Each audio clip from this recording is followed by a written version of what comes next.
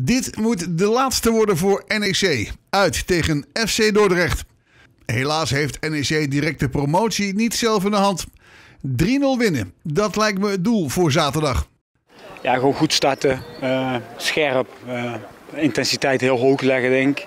Uh, proberen om ons spel gewoon op de juiste manier te spelen. We hebben nu natuurlijk een week waar we iets meer rust hebben, waar we iets beter kunnen voorbereiden. Het gewoon heel erg scheelt omdat je zeven wedstrijden 21 dagen speelt, echt abnormaal. Dus dat was echt een slijtageslag. dus ik, we proberen om de spelers gewoon weer fris te krijgen. ik denk dat het gewoon belangrijk is om, om onze manier te spelen. En vanuit daaruit dan weten we in welk kwartier dan ook dat je gewoon twee, drie doelpunten kunt maken. Het hoeft ook niet zozeer te zijn dat je heel snel, ja dat zou natuurlijk makkelijker zijn. Alleen we weten ook dat wij gewoon later in de wedstrijd gewoon twee, drie keer kunnen scoren. Dat hebben we vaak genoeg bewezen. Dus. Bijna het einde van het seizoen is de selectie op dit moment fit? Ja, Langiel problemen, uh, hamstring. Uh, die gaat zaterdag waarschijnlijk niet redden, maar die is wel goed bezig op het veld. Jari Schuurman heeft enkel problemen. Uh, Anders had je die streept een bal voor en die probeert die binnen te tikken en enkel die draait. En, uh, dus die, is, die, is, die traint op dit moment niet mee. en voor de rest is iedereen gewoon, gewoon erbij. Dus weinig opties op dit moment. Romani speelde vrijdag erg goed. Wat is het plan van de trainer met hem voor de komende wedstrijd en de wedstrijden daarna? Wat voor plannen hebben we voor de komende jaren? ja, dat is onze speler.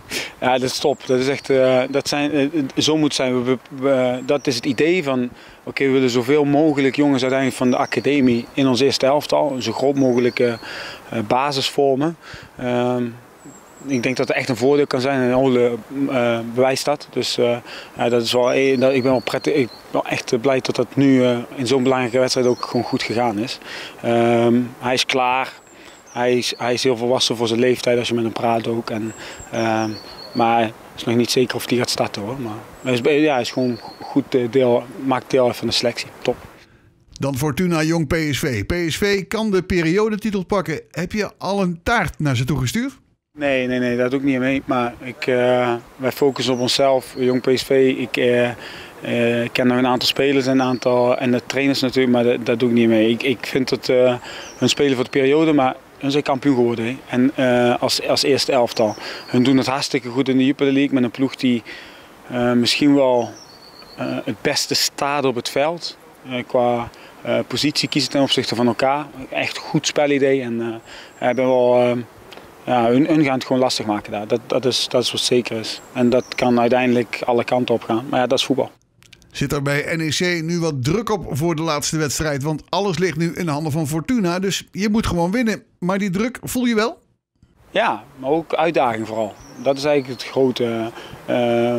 Ja, als je de laatste wedstrijd ingaat en alles kan gebeuren. Wat, en de Jupiler League heeft uh, nee, heel vaak deze situatie gekend tot het alle kanten op. Ja, dat is voor de toeschouwer, voor iedereen natuurlijk, uh, maar voor ons gewoon heel erg belangrijk. Want ja, als we direct zouden kunnen promoveren nu, uh, of zelfs kampioen worden, ja, dan, uh, dan moet je dat nooit laten glippen. Je moet niet nu datgene weggeven. We moeten gewoon onze plicht doen, winnen. Het liefst met drie doelpunten verschil. En dan, en dan kijken wat er gebeurt. Maar niet het, het, het gewoon uit handen geven. De anderhalf uur van de waarheid. FC Dordrecht tegen NEC. Zaterdagavond om kwart voor acht. Live op RN7.